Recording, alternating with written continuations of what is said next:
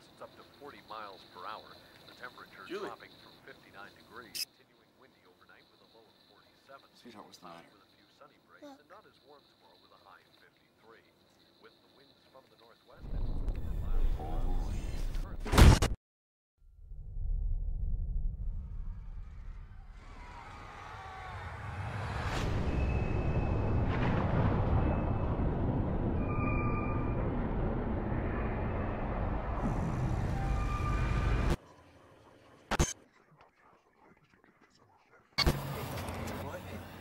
Look, man. The hot sauce is floating. Oh my god. The hot sauce. Crazy. Dude, that's nuts. Oh. What is going on? Did you, did